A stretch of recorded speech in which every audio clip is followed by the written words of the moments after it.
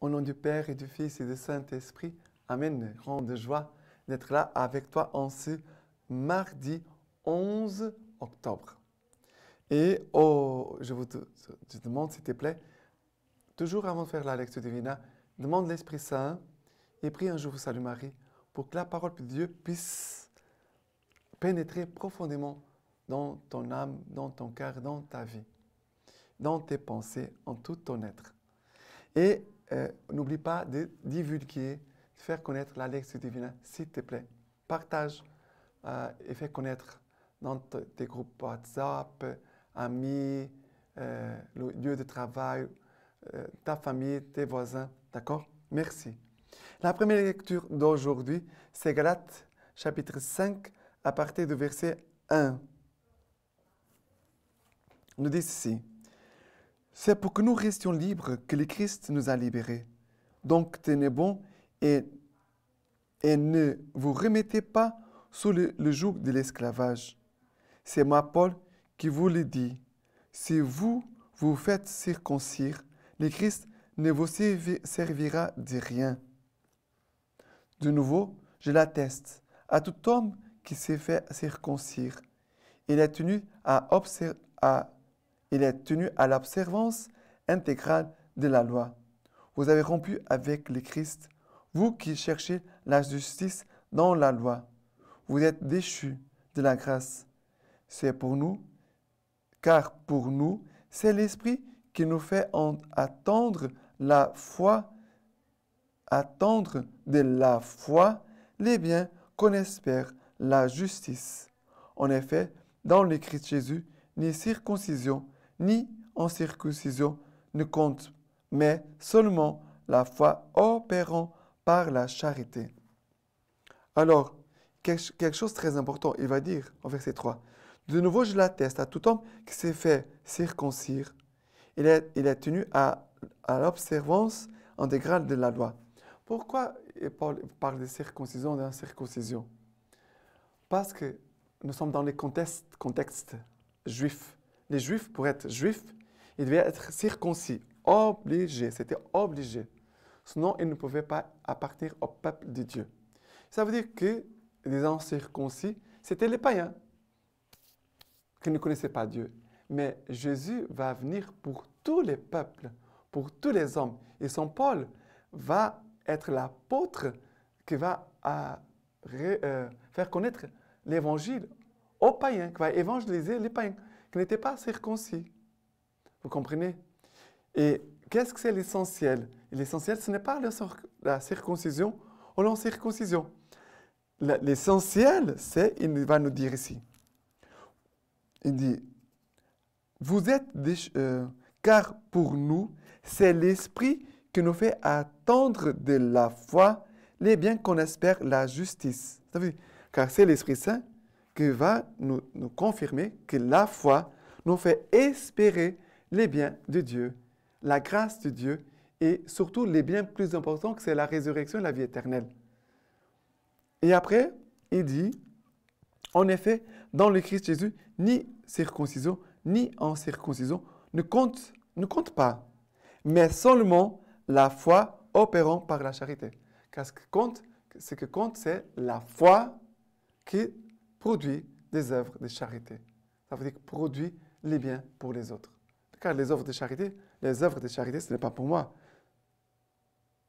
C'est pour les autres. Ce que j'ai fait, c'est pour le bien des autres. C'est cela qui est le plus important. Alors que notre foi soit une foi agissante, opérante, qui produit des fruits, des bons fruits et non pas des mauvais fruits. Et euh, maintenant, le psaume d'aujourd'hui, c'est le psaume 119, à partir du verset 41. Que me vienne ton amour, Seigneur, ton salut selon ta promesse. Note pas de ma bouche la parole des vérités, car j'espère en tes jugements. J'observerai ta loi sans relâche, pour toujours et à jamais. Je serai au large en ma démarche car je cherche tes préceptes. Alors ici, il dit, note pas de ma bouche ta, la parole des vérités, car j'espère en tes jugements. j'observerai ta loi sans relâche. Je vous dis, je vais, je garde ta parole, ta parole est vérité. Je garde ta parole parce qu'en gardant ta parole, aussi, l'Esprit Saint vient avec la parole de Dieu. L'Esprit Saint vient avec. Pour que nous puissions euh, vraiment accueillir cette parole dans la foi. Qu'en cueillant cette parole dans la foi, cette parole de vérité, qu'elle puisse, produire des bons fruits dans notre vie et un bon fruit de charité et de vérité. La parole, elle est vérité. La parole, est, elle est, amour. Alors, elle veut produire en nous aussi ce qu'elle est. Elle est vérité, elle est amour. C'est une parole de salut, de résurrection. Elle veut produire en nous résurrection et salut. Cette parole, elle est chemin. Elle veut nous, nous aider à ne pas être perdus, mais à être sur le bon chemin.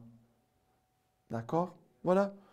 La, la, le psaume dit Que me vienne ton amour, Seigneur.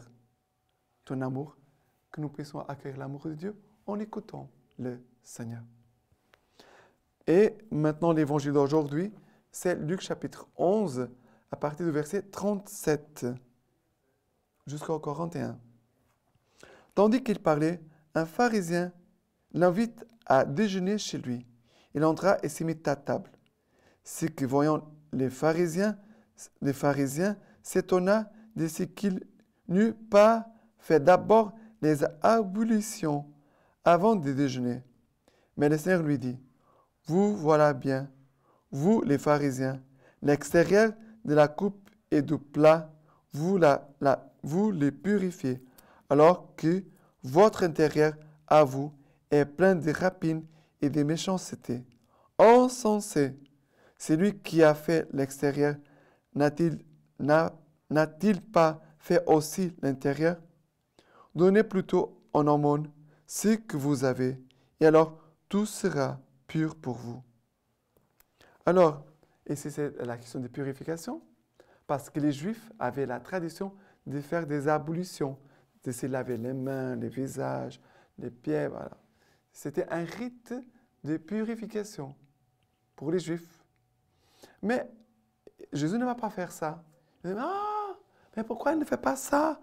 Il n'accomplit pas les traditions. Ils vont, ils vont dire, mais ils vont, ils vont être étonnés. Jésus va répondre, vous voilà bien, vous les pharisiens, l'extérieur de la coupe et de plat, vous les purifiez. Ça veut dire, vous êtes en train de purifier les visages, les mains, les pieds, tout ça. Mais votre cœur est rempli de rapines et de méchanceté. Ça veut dire votre cœur est rempli de péchés, de mort. C'est cela que je suis en train de dire. Je vais dire, celui qui a fait l'extérieur n'a pas fait l'intérieur. Mais c'est le risque des gens, c'est d'être attaché aux choses extérieures et d'oublier le plus important que c'est l'intérieur. Je vais à la messe, tout beau, mais est-ce que mon âme, elle est aussi toute belle? Je vais là à la messe, je vais faire quelque chose. Parce que, voilà, parce que je chante bien, je lis bien, je vais faire quelque chose. Voilà, tu fais quelque chose. Bien. OK, d'accord. Mais le plus grand bien de laisser Dieu entrer dans ta vie et de la transformer, est-ce que cela est en train d'arriver, cela se passe dans ta vie? Je ne suis pas en train de critiquer, mais c'est pour dire que nous, souvent, nous sommes très attachés aux apparences, l'extérieur, et nous oublions de travailler les racines du péché, de les arracher de notre âme, de notre cœur. Ça veut dire que nous ne faisons pas ce travail de profondeur, de conversion véritable. OK? Et maintenant, euh, la lecture patristique d'aujourd'hui qui sont donc heureux, qui sont dignes d'envie, les serviteurs que le maître à son retour trouvera vigilants. Et pour moi, qui suis son serviteur, malgré mon indignité, Dieu veuille m'éveiller du sommeil et du sommeil de mon indolence. Qu'il fasse brûler en moi le feu de l'amour divin, que la flamme de son amour monte plus haut que les étoiles, qui brûlent sans cesse au-dedans de moi les désirs de répondre à son infini à son infinie tendresse. Maintenant, je vous laisse la bénédiction par les mains toutes pures de la Vierge Marie. Que Dieu Tout-Puissant vous bénisse et vous garde, le Père, le Fils et le Saint-Esprit. Amen.